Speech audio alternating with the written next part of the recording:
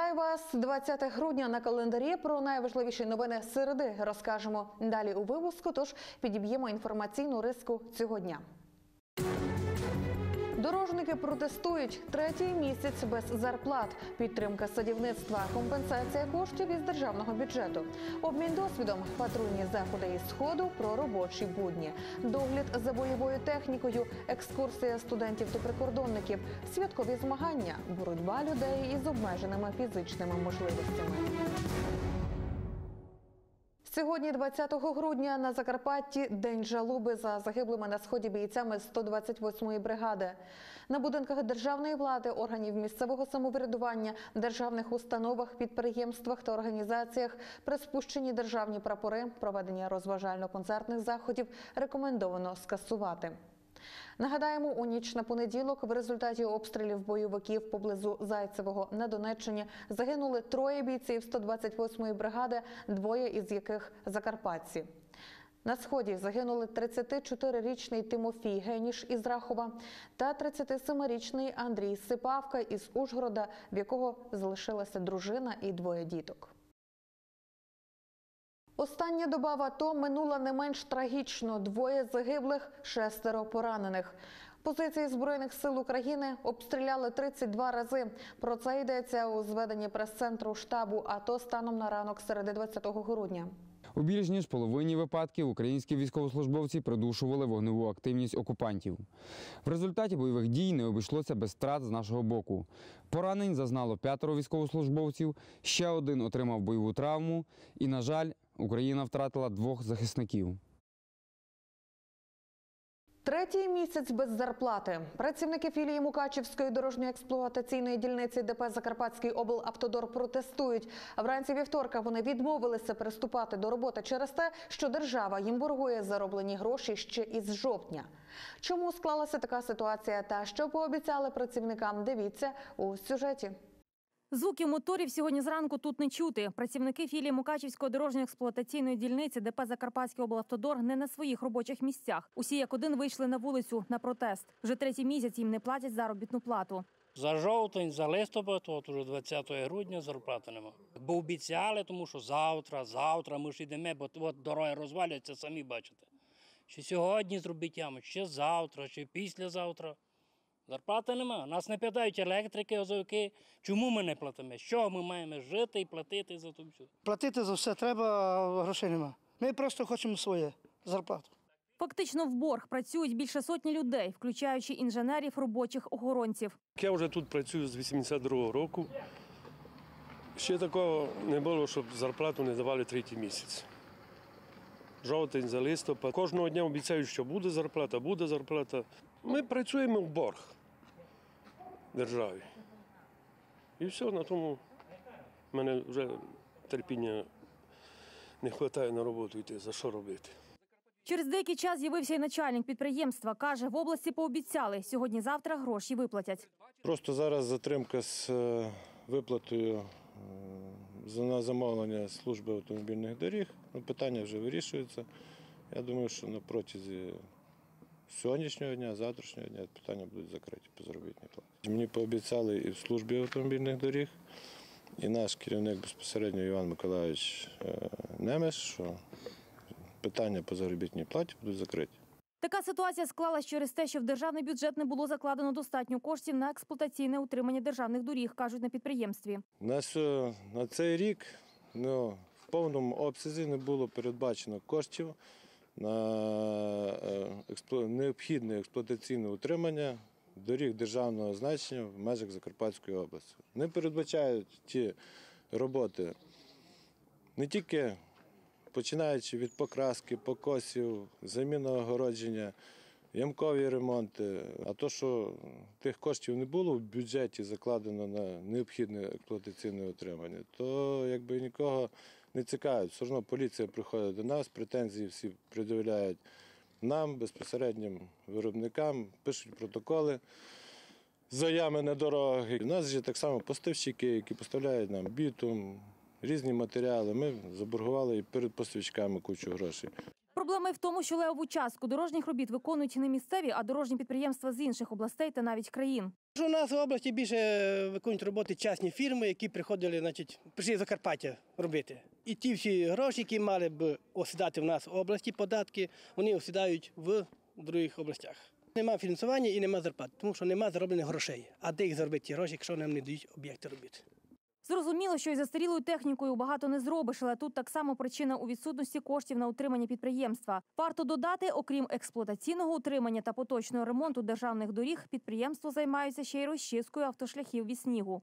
На, от час е, з 8 одиниць техніки, яка має бути задіяна на зимовому трені на очистці, на даний час у нас є три одиниці, які можуть виїхати. Все. І крім трьох машин, то ще буде три трактора. Все. Значить, більше техніки у нас немає, тому що вона устаріла і часто ламається. Фінансування по закупці запчастин ніяко не йде. Тому ми боргуємо біля 60-70 тисяч, те, що я маю підрахунки по запчастинах, по поставщиках наших запчастинах. Якби техніку оновити або хоча б привести її до ладу, підприємство могло працювати набагато ефективніше. Значить, можна робити огляд мостів по всій нашій дорозі. У нас е, на балансі є 26 мостів до перевала, які ніхто ніколи не дивився під ними. Машина унікальна коштувала на той час півтора мільйона. Зараз вона стоїть, гниє. Е, грошей на, на експлуатацію немає. Врешті-решт, працівники, повіривши черговим обіцянкам, приступили до роботи, адже вже завтра на Закарпатті передають сніг. А якщо техніка не працюватиме, на водіїв може чекати транспортний колапс на дорогах. Паводкові хвилі пройшли за межі Закарпаття на територію Європи. У Латориці в районі Чопа вода знизилася на 40 сантиметрів, а в Тисі на 10. Загрози нових підтоплень населених пунктів немає. Паводкова хвиля по Латориці вже пішла на територію Словаччини, а по Тисі в Угорщину. Сусіди ще кілька днів тому були попереджені про різке підняття рівня річок, яке їх очікує. Стаціонарні насосні станції продовжують відкачувати воду. Оперативна інформація щодо ліквідації наслідків негоди на Закарпатті станом на 20 грудня. Невтішна ситуація ще у п'яти районах краю: Іршавському, Мукачівському, Виноградівському, Тячівському та Хустському. Залишаються підтопленими майже півсотні сільгоспугідь, 116 дворогосподарств, 48 підвальних приміщень. Станом на 8 ранку підрозділи управління ДСНС відкачали близько 3300 кубометрів води. Всього за весь період відкачали більше 6 мільйонів кубічних метрів. На Закарпатті станом на 21 годину 19 грудня через переливи води із річок закриті ще три дороги. На дорозі Ужгород-Демичі висота переливу сягає 65 сантиметрів. На автошляху Великі Ком'яти Вилук рух транспорту також закритий. Висота переливу 15 сантиметрів. На дорозі місцевого значення Тишів зруйнований міст через Латорицю. Про відновлення дорожнього руху буде проінформовано додатково. Повідомляє Державне агентство автомобільних доріг України. У Мукачеві повністю відновили водопостачання. Про це повідомляє сайт Мукачевонет. Комунальники продовжують боротися із наслідками паводку, через який містяни майже три дні сиділи без води. За їх словами, водопостачання відновлено у тій частині міста, яка була відключена через пошкодження водозабору. Однак ремонтні та очисні роботи у місті продовжуються. На Закарпатті з'явилися кошти для ліквідації наслідків вересневого буревію. Сьогодні, нарешті, надійшли кошти із резервного фонду державного бюджету для проведення аварійно-відновлювальних робіт із ліквідації наслідків надзвичайної ситуації, що склалася 17-18 вересня у Рахівському, Тячівському та Мукачівському районах. Нагадаємо, що тоді Закарпаттям пронісся буревій, який пошкодив інфраструктуру, соціальні об'єкти та житло у трьох районах. Усі збитки задокументували і передали у кабінет міністрів. Фінансування на усунення наслідків стихії прийшло тільки тепер. Одразу після буревію місцеві підприємці зробили ремонти на пошкоджених об'єктах у борг. Тепер із людьми нарешті розрахуються за виконану роботу. Закарпатські садоводи днями отримали компенсації з державного бюджету на закладання і нагляд за саджанцями, передбачені відповідною програмою підтримки садівництва та ягідництва в Україні. Кошти, які передбачалися ще у 2013 році, врешті таки дійшли до кінцевого споживача, однак, на жаль, не у повному обсязі. Про сьогоднішній стан справ у закарпатському садівництві та роль держави у її підтримці наші журналісти дізнавались безпосередньо у садоводів. Закарпатське фермерське господарство Фуджі Сад 2011 вже шостий рік на садівничому ринку України. За цей час підприємство декілька разів збільшило свою площу, яка сьогодні досягає декількох сотень гектарів, а також вирощування та продаж різних сортів яблук. Як розповідає директор фермерського господарства, розпочинали власними силами, а з часом приєдналися до державної програми підтримки садівництва та ягідництва України. Вона передбачала фінансове відшкодування на закладання та нагляд за молодими саджанцями. Коли ми закладували сади, то працювала державна програма по відшкодуванні на закладку молодих садів, ягідників. Діяла програма це за рахунок е, півтора відсоткового збору по державі за е, тютюн і алкоголь. Це десь у межах нашої країни виходили десь до півтора мільярда гривень. Це були досить серйозні кошти, які мали цільове призначення виключено на закладку садів і садів виноградників і хмелярства. Вже декілька останніх років програма існувала тільки на папері. Садоводи вкладали власні кошти в розвиток свого господарства. Однак, взамін від держави нічого так і не отримували. І тільки днями обіцяні кошти, які чекали ще в 2013 році, було таки відшкодовано з державного бюджету. Однак тільки частково. Подавали ми, звісно, і на відшкодування. В 2013 році, наприклад, наше господарство фермерське господарство Фурджі сад 2011 подало десь біля 600 тисяч на закладку нового саду. І ці кошти наші застряли у Києві на довгий період. І аж у цьому році, 2017 році, нам частково зараз, от сьогодні, іменно на День Святого Миколая, повертають нам частину тих коштів, які висіли у бюджеті. Після окупації Росією Автономної Республіки Крим Закарпаття стало чи не центром садівництва в Україні. Однак відповідної фінансової підтримки з Києва область не отримувала. Садівники власними силами намагалися отримати свої господарства, догляд за якими потрібний цілий рік, незалежно від пори року. Для того, аби отримати готовий продукт, до прикладу, ось таке яблуко, садівнику потрібно не один рік. Ну і звичайно, кожен рік повинен бути фінансово забезпеченим. Завдяки небайдужим закарпатським народним депутатам, зокрема члену парламентського комітету з питань аграрної політики та земельних відносин Василю Петьовці, садівництво в області отримало нове дихання, каже очільник фермерського господарства Фуджі Сад 2011. І фінансове відшкодування по вище згаданій програмі цьому яскравий доказ.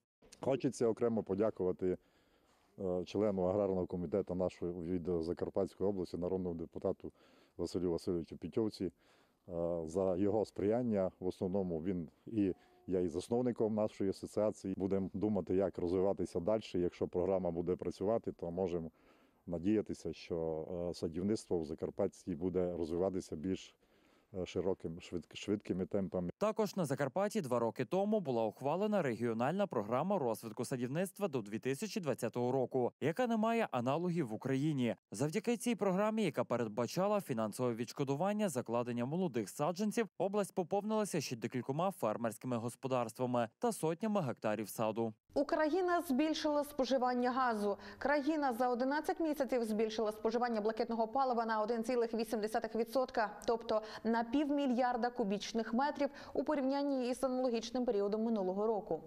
Промисловість спожила 9,5 мільярдів кубічного метрів газу, населення і бюджетні організації 10 мільярдів.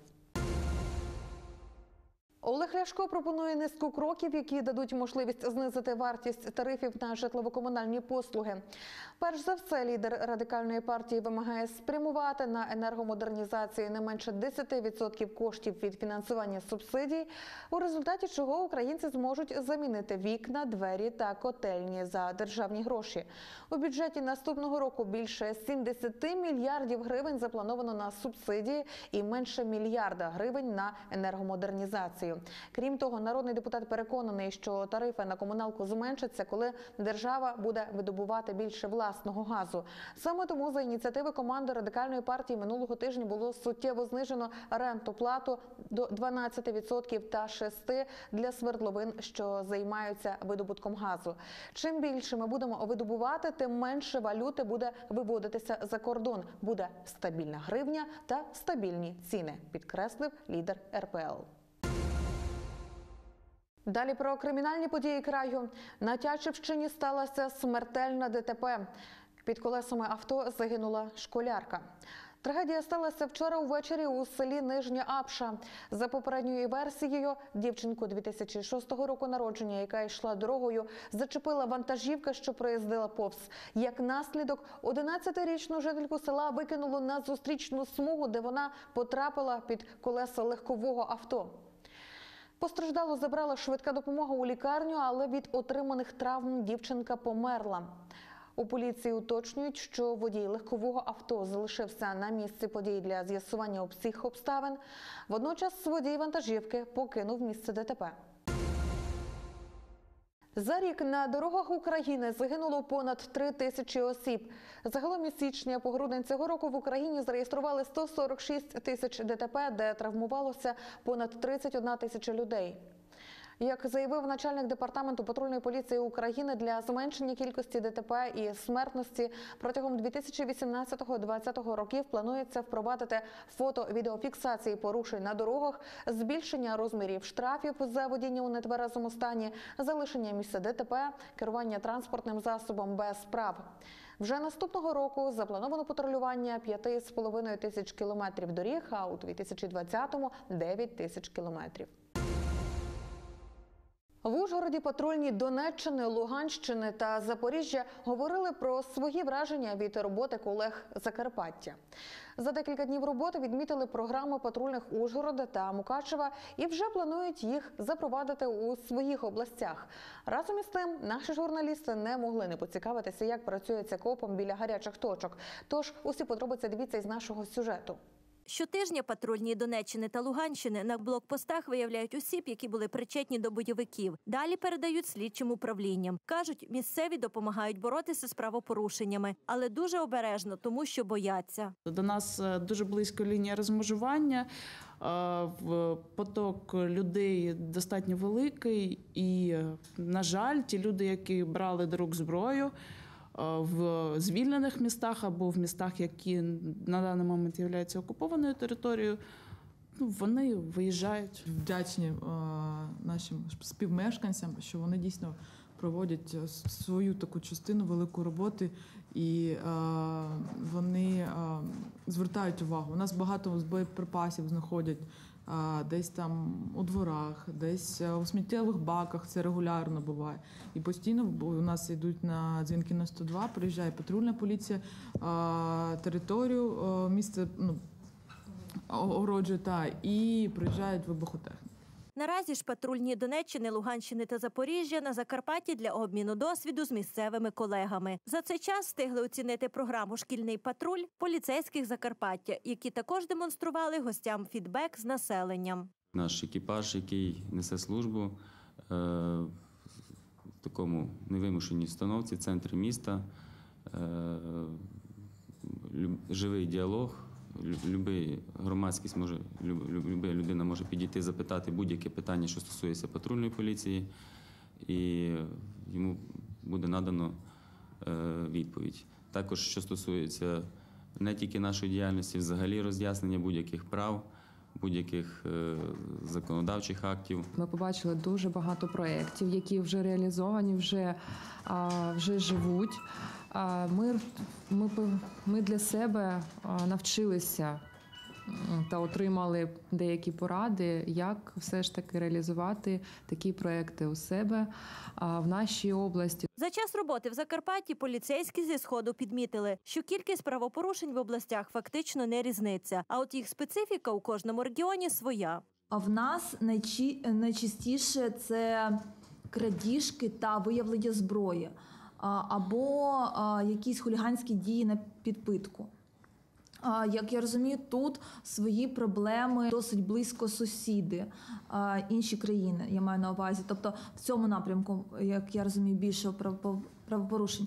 Тому правопорушень, мабуть, не менше, але інший напрямок. Ініціатива обміном досвіду стала можливою завдяки ПРООН в Україні, щоб подивитися контраст стану безпеки на мирних територіях та де проводяться бойові дії. Наша програма вона складається е, з трьох компонентів: це перший компонент інфраструктурний, другий компонент е, децентралізації, і третій компонент е, безпосередньо мій, в якому я працюю.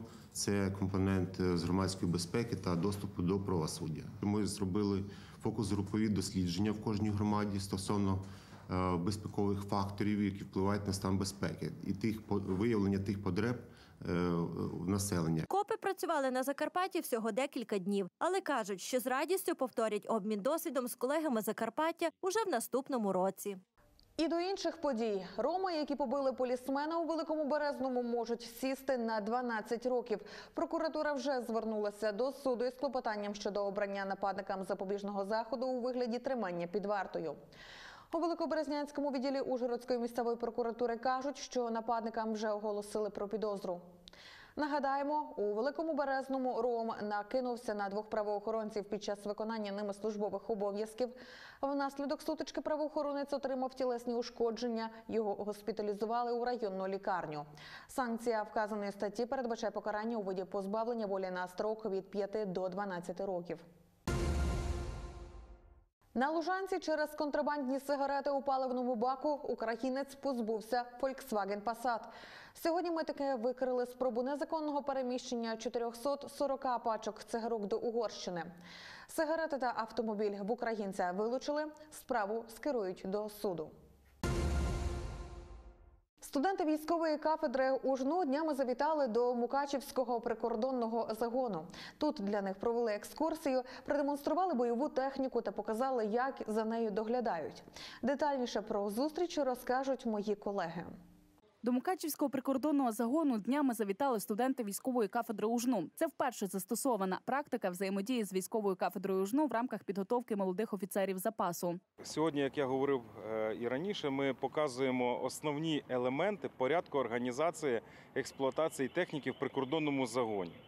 Тобто, це є технічне обслуговування, поточний ремонт, порядок зберігання, а також вихід на лінію та повернення транспортних засобів з рейсу. На військовій кафедрі студенти навчаються щоп'ятниці протягом двох років. Навчання відбувається не лише у формі лекцій. Є лекції, е, і так само буває, що от практично виїжджаємо на полігон, стрільби. Є проводять заняття в тирі один раз в тиждень так само. А що вам найбільше подобається? Е, Заняття в тирі саме більше подобається. Це стріляти так само. Юні військові мали змогу подивитися на бойову техніку, дізнатись, як за нею доглядають. Сьогодні дуже багато нового дізналася. Е, Техніки такої, якої раніше не бачила. Е, Все дуже цікаво. І те, що радіацію, коли як виявляють, так само, якщо черги на кордоні, що допоміжні автомобілі для оформлення паспортів. Також студентів відвели на екскурсію у музей, що існує на території Мукачівського прикордонного загону. У ньому представлені різного роду експонати: старовинні документи, медалі, кашкети, цікава інформація щодо ветеранів та багато іншого. Сьогодні у нас чудова екскурсія. Вона нам приводить багато чого нового. Тобто ми це навчаємо все на листочках, так казати. Ми це все вивчаємо по теорії, а сьогодні нам це показали, як в дійсності є. Що таке автомобілі і які вони якого вони є типу, як вони застосовуються. У прикордонному загоні сподіваються, така практика стане традиційною. Після традиційного параду Миколаїв в Ужгороді пів тисячі дітей з усієї області запалили вогні головної ялинки Закарпаття.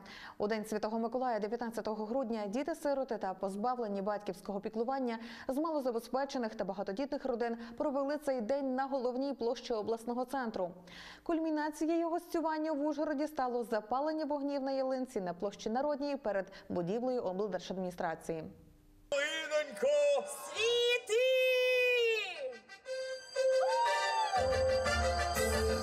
За програмою, е, відповідно до розпорядження голови обласної державної адміністрації, діти всі, по-перше, їх усіх прохарчували. На базі е, закладів у місті Ужгороді. Після чого вони були в театрі, побачили гарну виставу. А зараз будуть отримали кожен один, кожна одна дитина отримує подарунок від Святого Миколая, і зараз матимуть можливість насолоджуватися обласним святом. Оздоблюють головну ялинку області пів тисячі прикрас та понад півтори тисячі лампочок. Цьогоріч біля ялинки розташовано традиційний український вертеп. Це композиція ручної роботи, яку виготовили люди з обмеженими можливостями. Урочисте вімкнення гірлянд на ялинці міста відбулося і у центрі Мукачева напередодні Дня Святого Миколая. Спочатку на центральній площі для дорослих та дітей підготували розважальну програму. Перед глядачами на сцені виступали юні таланти міста. Одразу після концерту головну ялинку урочисто відкрили. У Чинодіївський дитячий будинок завітав Миколай і разом із благодійним фондом Крапля добра презентував вихованцям закладу такі, здавалося б, прості, але цінні подарунки. Детальні розкажуть мої колеги. Ангели, сніжинки, принцеси, святий Миколай, його помічники та інші казкові персонажі заполонили Ченадіївський дитячий будинок. Це й не дивно. Сьогодні тут чекають гостей, яким вихованці закладу прагнуть продемонструвати свої таланти та віддячити за постійну допомогу.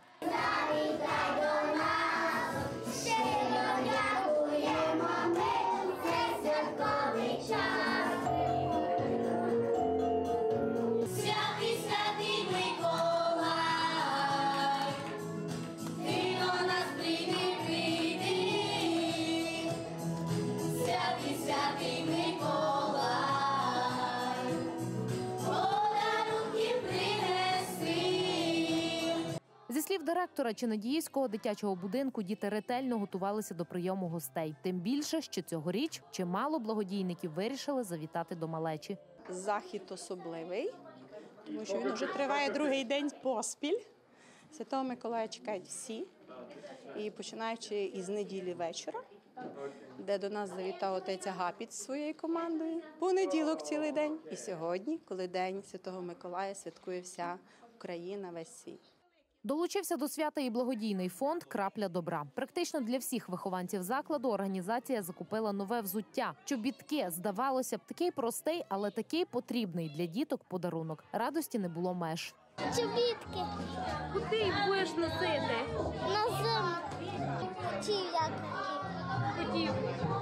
Дякую. Директор благодійного фонду Крапля добра каже, що солодкі подарунки річ хороша, проте взуття набагато потрібніше. Тим більше, що до таких добрих справ з року в рік долучається дедалі більше небайдужих людей. Цікаво, що фонд не займається збором коштів, а якраз залучає людей, які можуть допомогти.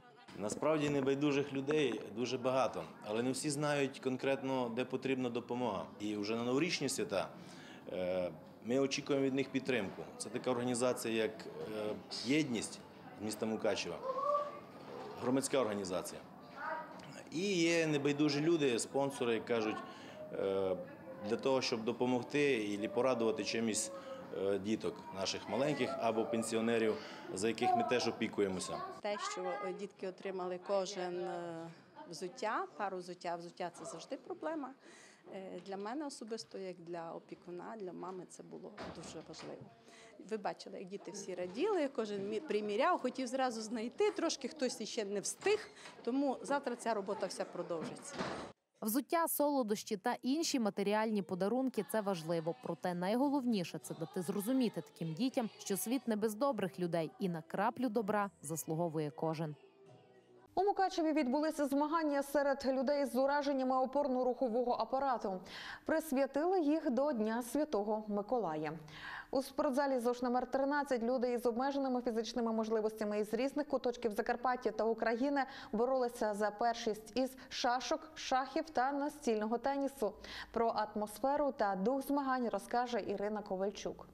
Люди з обмеженими фізичними можливостями з різних куточків Закарпаття та України зібралися у спортивній залі школи номер 13 у Мукачеві, аби позмагатися з шашок, шахів та настільного тенісу. То урочисте до Миколая нас запросили. Ми самі з міста Ужгорода.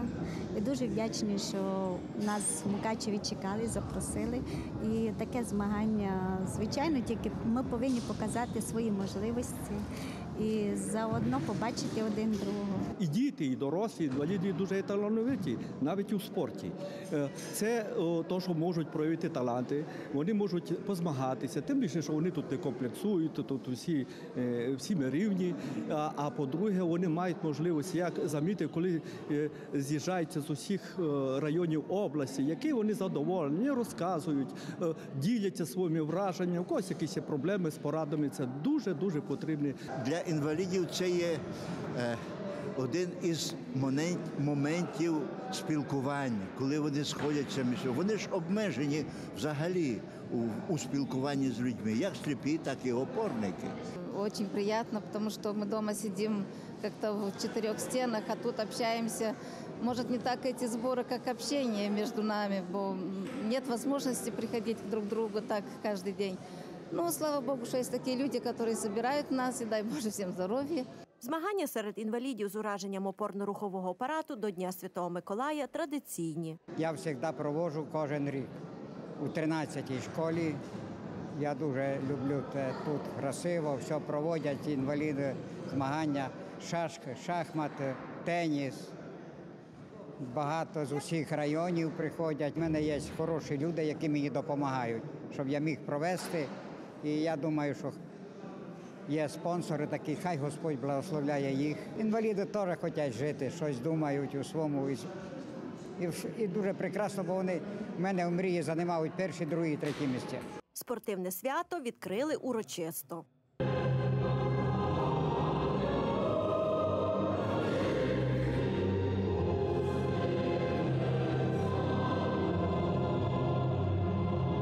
Не обійшлося і без привітань спонсорів та почесних гостей. Радію вашому і дивуюся вашому такому життєвому оптимізму. Нехай він тримається завжди з вами.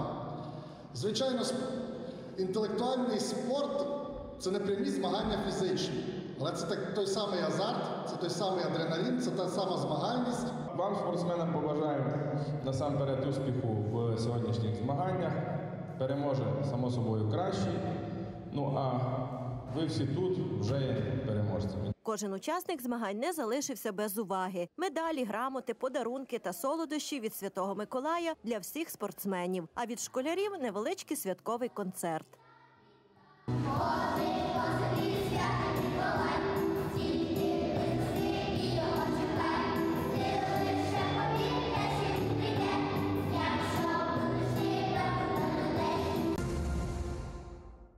Випуск головних новин Закарпаття добіг кінця. На сьогодні у нас все. І вже завтра у програмі час ми розкажемо про таке. Довгоочікувані зміни, виконані роботи із благоустрою на Рахівщині, звітна виставка, творчий звіт митців Хущини, деревце у горщику, свіжа ялинка замість зрубаної. На цьому ставимо крапку. Всім вдалого відпочинку. Ці та інші новини дивіться на нашому сайті mstudio.net.ua, на одноіменній сторінці у соцмережі Facebook та на нашому каналі у мережі YouTube. На все добре.